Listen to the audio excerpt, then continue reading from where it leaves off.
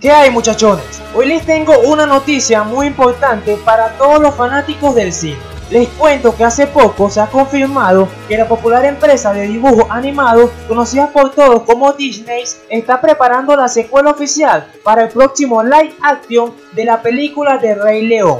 Esta noticia no solo fue confirmada por Disney, sino que también se ha confirmado el director que le dará vida a este nuevo live action. El director a cargo de este nuevo proyecto será Barry Jenkins, quien ya ha ganado un Oscar de manera oficial. En pantalla estarán viendo este nuevo director, ¿ok?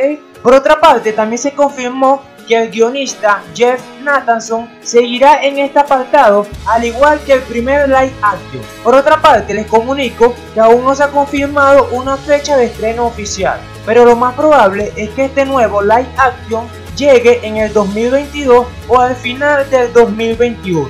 Es muy temprano para saber detalles sobre esto muchachones. Lo importante es que ya se ha confirmado el Rey León 2 como live action, es decir, una secuela. Para finalizar este video les informo que la historia de este nuevo live action de Rey León 2 no será una continuación de la primera película, es decir, no será una continuación del primer live action que nos mostró Disney, ¿ok?